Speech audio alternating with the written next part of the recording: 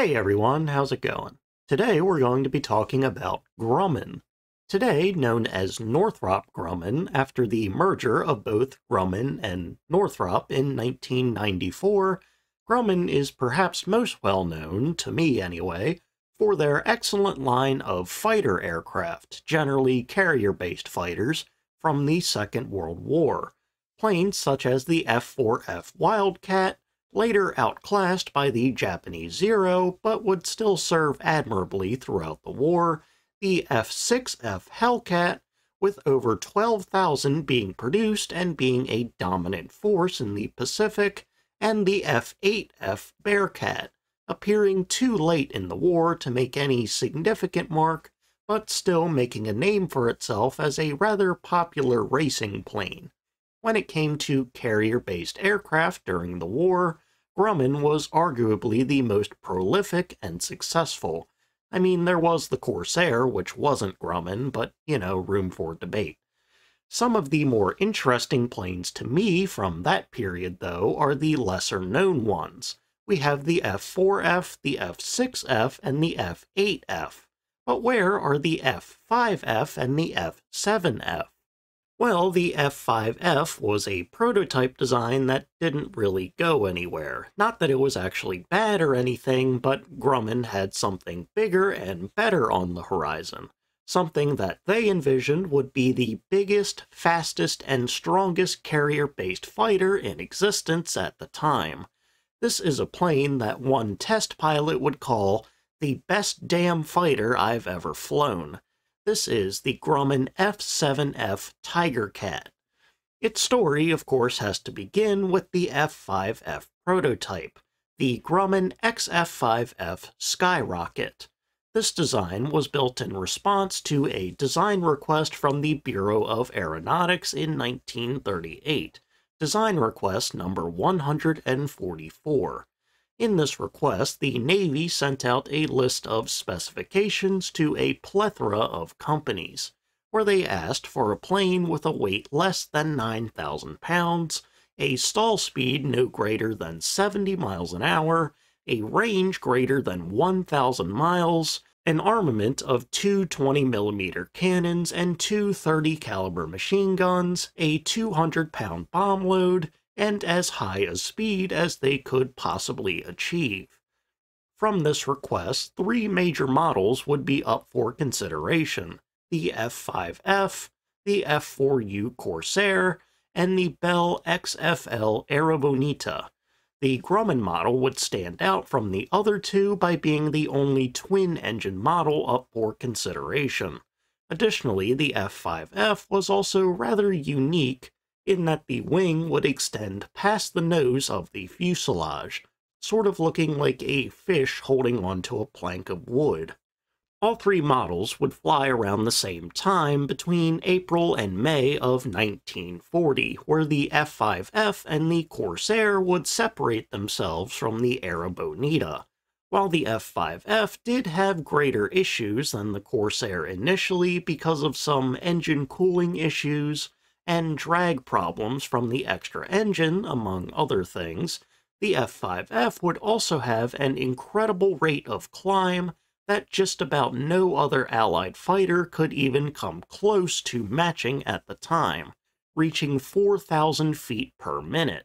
The British Spitfire actually came in second place, but it was a distant second.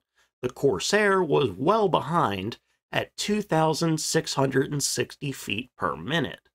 The Corsair, on the other hand, had fewer initial issues and would have a greater top speed, 404 miles an hour to the F5F's 386.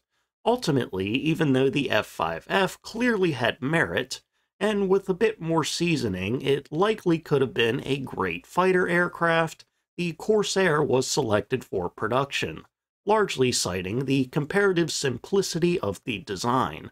The twin-engine outfit of the F5F was more complex than the single-engine Corsair.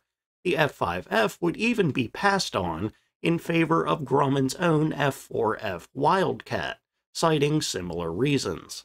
Still, despite being passed on, Grumman would continue work on the design and general concept of a twin-engine fighter. And yes, while they were more complex, the increased power offered by the second engine combined with the fact that the F5F still had solid maneuverability and handling, gave Grumman the desire needed to refine the idea. That refining would come in the form of the F7F Tiger Cat. The F7F would actually come about the very same day as Grumman's own F6F Hellcat, both designs having a prototype ordered on June 30th, 1941. The F-7F was in response to a different need from the Navy, though, while the F-6F was to be an upgrade of the F-4F and a contingency plan in case the development of the Corsair went sideways, the F-7F was in response to a call from the Navy for larger fighters that would reside on the upcoming larger Midway-class carriers and while the F7F would technically be a derivative of the F5F, looking at the two side by side, it would be rather difficult to see any significant similarities in their designs, apart from the twin engines.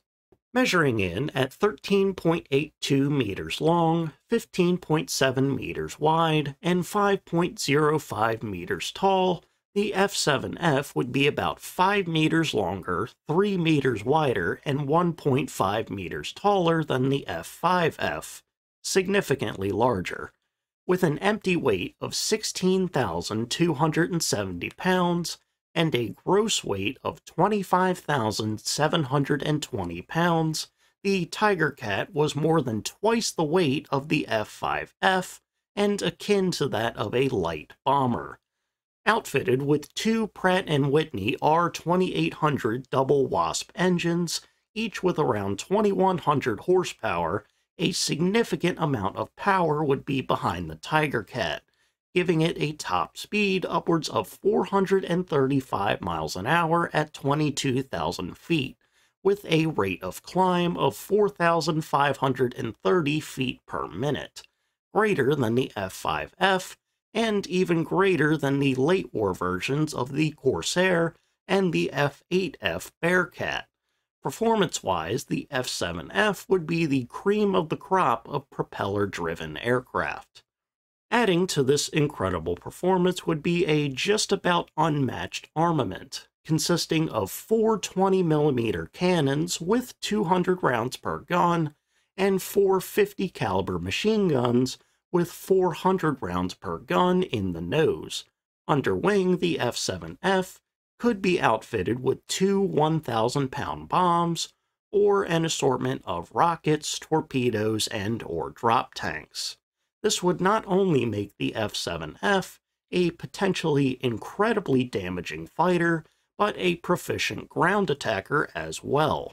Effectively, the F-7F was designed to be a heavy fighter bomber. In the upgrade from the F5F to the F7F, the Tiger Cat would take on a more traditional body design. The front-mounted wing section and the stubby fuselage would be replaced with a fuselage and nose that extended past the wing like normal. Additionally, the tail section would also be changed from a twin-fin twin tail to a more standard tail with a single central vertical fin.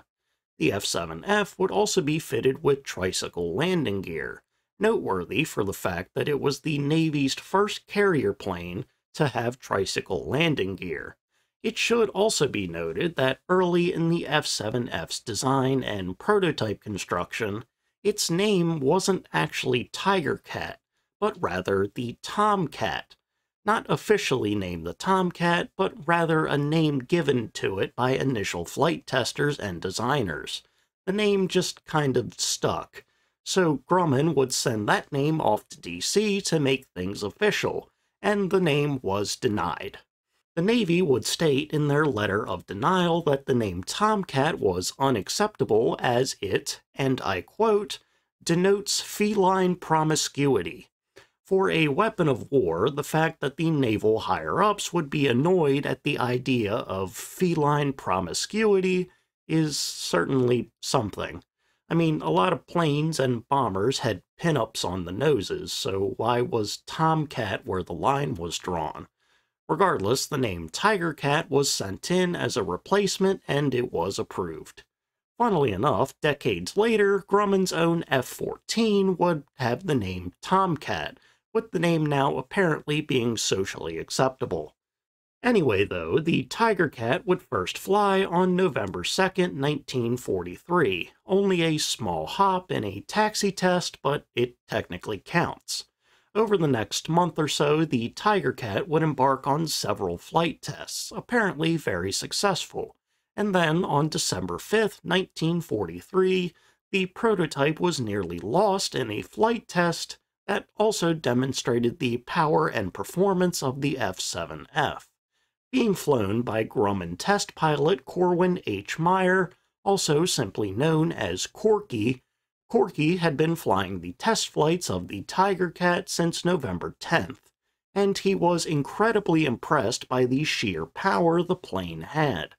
On December 5th, Navy higher-ups stopped by the Grumman plant to see how the F-7F was progressing and to see the plane in action. Corky then, according to his account, took off and immediately began climbing, climbing at a much greater rate than something like the F6F Hellcat. Then he dove and hit 400 plus miles an hour before pulling up for a high-speed low-level pass. Corky then realized he was flying a bit too low, and right in front of him was a flagpole, which forced him to quickly pull up to avoid crashing the plane.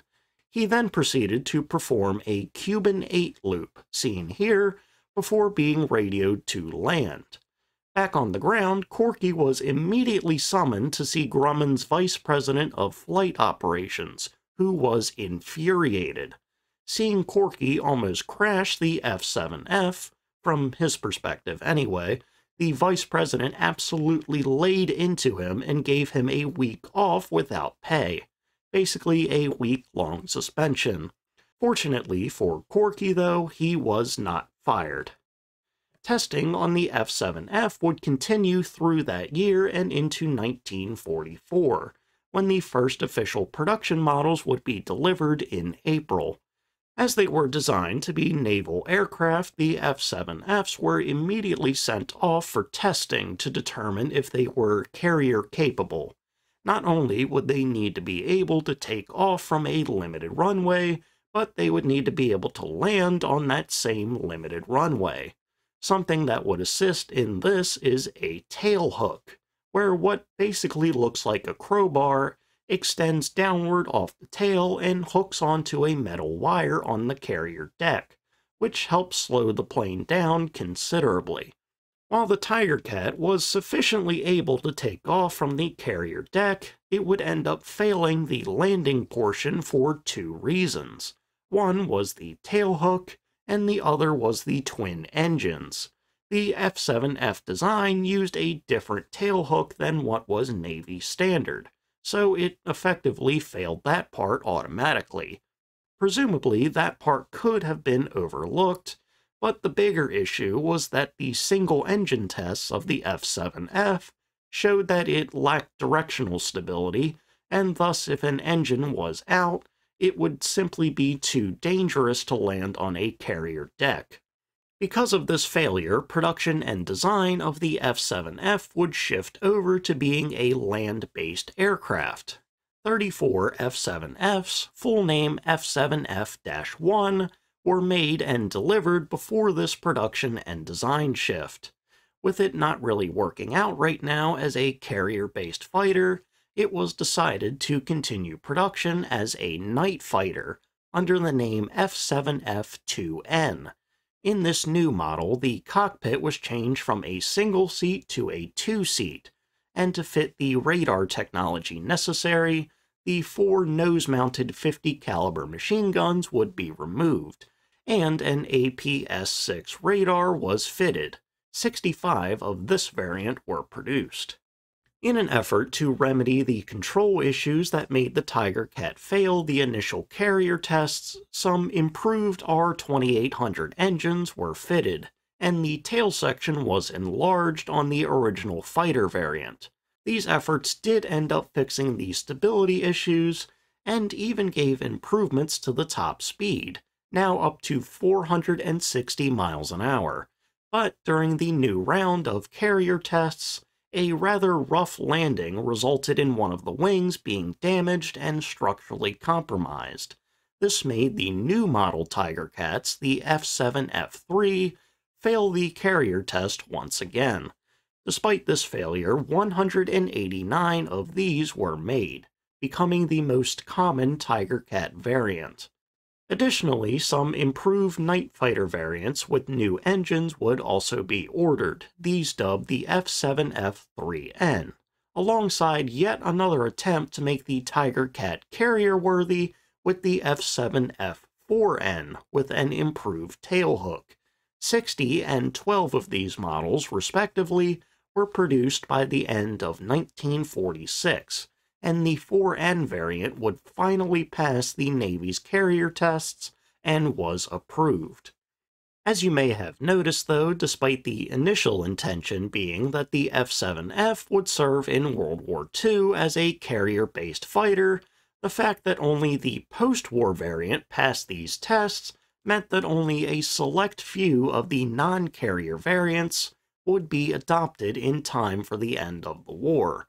Plus, it wouldn't have worked out all that well anyway, since the Midway class carriers the F 7F was built to serve on did not appear until after the war ended. Regardless, though, in mid 1945, two Marine squadrons were being trained on the F 7F, and these squadrons were en route to Okinawa to serve against Japan. However, the very day the F 7Fs arrived to the Pacific Theater, Japan surrendered. So the Tiger Cat was just barely too late to serve in World War II. If it had managed to participate in combat, the F 7F would likely have been the fastest and probably the most well armed plane in the US military at that point. Luckily, if you want to call it luck, the Tiger Cat would have an opportunity to serve about five years later in the Korean War. Of course, also at this point, the incredible performance that the Tiger Cat offered wasn't really incredible anymore. By the end of the Second World War, America and most other major powers were well into testing jet engine technology, and by 1950, planes like the F 86 Sabre F-84 Thunderjet and P-80 Shooting Star had all been adopted, and were outperforming the Tiger Cat with speeds easily over 500 miles an hour. Propeller-driven aircraft, fighter aircraft at that, were still used with some P-51 Mustangs and F-82 twin Mustangs serving, but their viability as fighters was rather poor, and they served better as ground attackers and in other roles. Nevertheless, some F 7Fs were used in combat, recon, transport, and various utility roles. Officially, just two planes were shot down by the F 7F, and they weren't exactly the most technologically advanced planes. Two PO 2 biplanes flying some recon were taken down.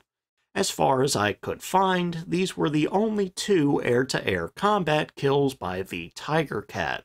It was also reportedly used in ground attack roles and served well, although I could not find any stats on what it actually managed to do. In the end, like so many late World War II aircraft, the F-7F got caught in a tough transitional stage. Too late to serve in World War II, but too early to serve in significant numbers in Korea. A major technological shift was on the horizon late in World War II, which left a good number of solid planes like the F-7F and even the F-8F to some extent being automatically relegated to the dustbin of history. Regardless of that, though, the F-7F was probably one of the best fighter aircraft made during the Second World War. To go back to our boy Corky in 1948, Navy test pilot Fred Trapnell came to Grumman to test out the Grumman Panther jet fighter. While he was there, Corky, a massive fan of how the Tiger Cat flew, would pester Trapnell on why the F-7F wasn't pushed for. Trapnell responded by listing several deficiencies of the design. The engines overcooled, longitudinal stability was poor, single engine control was also poor, etc., etc. Corky countered him by pointing out that Trapnell actually personally flew the Tiger Cat quite a bit, almost exclusively, to which Trapnell praised the Tiger Cat for the power of its two engines, solid agility and control, excellent forward visibility, and excellent range, concluding by telling Corky, it's the best damn fighter I've ever flown. Alright, and with that, we're going to go ahead and end for today. So, thank you all for watching. Remember to like, comment, and subscribe. In all honesty, the thing that made me want to do a video on the Tiger Cat was the whole Tomcat naming fiasco. It's just such a strange bit of pearl clutching, I guess. Weird sensitivity to the idea of feline promiscuity for something that was designed to kill people. God forbid people think about cat coitus when they see the murder machine. I don't know, though. Maybe they thought it was communist or something. But anyway, I hope you enjoyed the video, and I hope you learned something. So, see ya.